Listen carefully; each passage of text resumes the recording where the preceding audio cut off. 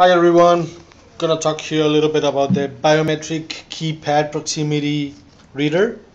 This is for an inside or outside reader. So let's pull it out one second. You see, comes with this cover. Okay, we take the cover out.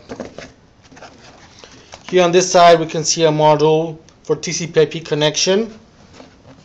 Down here you can check, we also have a uh, USB connection. Inside we can check that we have two relays, two extensions relays.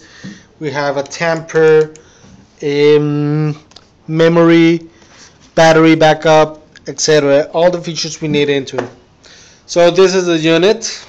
On the other hand, we have a cable that will connect from the computer to the unit.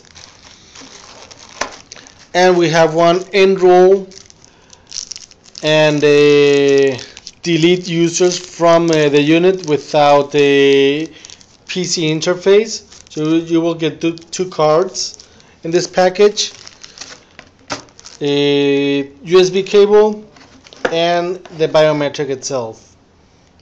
A waterproof. That's it. Thanks for watching.